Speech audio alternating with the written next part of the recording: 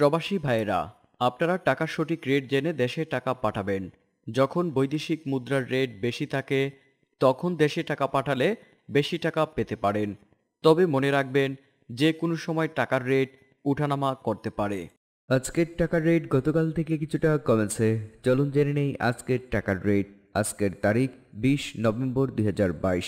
Malaysian রিঙ্কিত তেইশ টাকা তেইশ পয়সা, সৌদি রিয়াল আঠাইশ টাকা পনেরো পয়সা দুবাই দেড়হাম, উনত্রিশ টাকা চুয়ান্ন পয়সা, ওমানি রিয়াল দুশো চুয়াত্তর টাকা দশ পয়সা, কাতারের রিয়াল উনত্রিশ টাকা চৌত্রিশ পয়সা, জর্ডানের দিনার একশো তেত্রিশ টাকা শূন্য পয়সা লেবানিস পাউন্ড শূন্য দশমিক শূন্য সাত পয়সা, সিঙ্গাপুরি ডলার সাতাত্তর টাকা আশি পয়সা, কুয়েতের দিনার তিনশো সাতচল্লিশ টাকা বিশ পয়সা বাহারেনের দিনার দুশো তিরাশি টাকা একচল্লিশ পয়সা, ইউরো একশো দশ টাকা দশ পয়সা ইউএস ডলার একশো ছয় টাকা, শূন্য নয় পয়সা।